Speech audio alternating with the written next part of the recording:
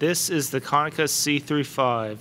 This camera has varieties of settings one can work with. First, you have the shutter speed dial for how long it will take to process a picture. You also have the aperture ring, which controls the diameter of the opening, which allows light into the camera found near the front of the lens as well as the ISO dial. Then you have the mode dial, which sets various exposure modes. The focus ring focuses the lens of the distance. On the bottom is the rewind release, allowing you to rewind your film. The, the rewind crank on the top lets you wind your film back into the canister. This camera is powered by Mercury batteries.